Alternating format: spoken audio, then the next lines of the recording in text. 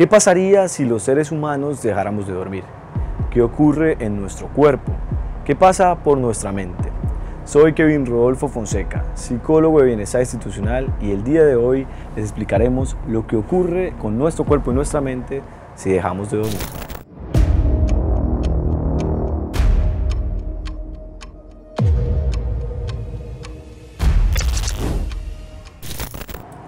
En el año 1965, Randy Gardner, de tan solo 17 años, se le ocurrió la grandiosa idea de hacer un experimento para demostrar cuánto tiempo duramos los seres humanos sin dormir. El doctor Denman, quien fue el que supervisó este experimento, logró demostrar y evidenciar que Gardner presentaba problemas de memoria, problemas de visión y audición, e incluso inestabilidad física. También presentó problemas en su cambio de humor, algunas veces incluso agresivo. Según la Organización Mundial de la Salud, si duramos más de tres días sin dormir se puede convertir en un riesgo de muerte.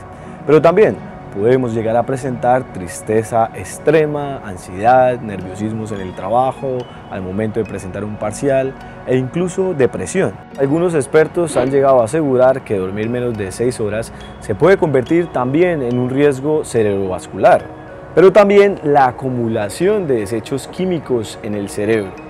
La adenosina, que es una hormona full importante al momento de acostarnos a dormir, se puede activar al momento de apagar la luz e incluso mejorando la respiración.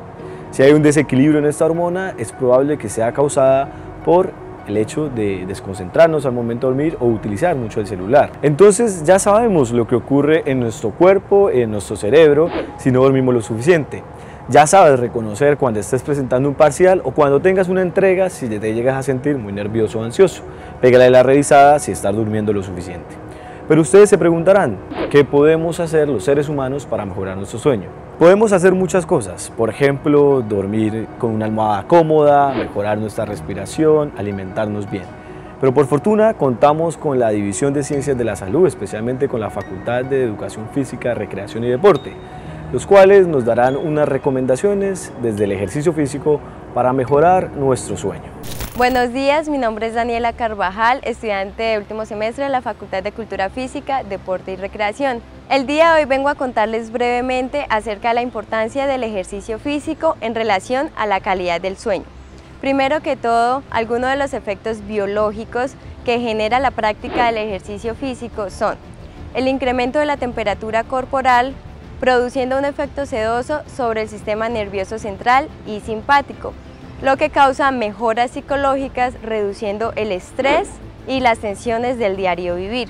Por otro lado, tenemos la producción y liberación de hormonas tales como la serotonina, la dopamina y la endorfina, provocando sensaciones placenteras al finalizar el ejercicio. Es por esta razón que el ejercicio físico nos ayuda o contribuye al mejoramiento de la calidad del sueño, lo cual está directamente relacionado con la vitalidad, el estado de ánimo, el autoestima, la depresión, la ansiedad y el agotamiento, donde las personas con baja calidad del sueño tienden a presentar pensamientos o emociones negativas más recurrentes que otras. Entonces ya sabes las causas y las consecuencias que produce no dormir.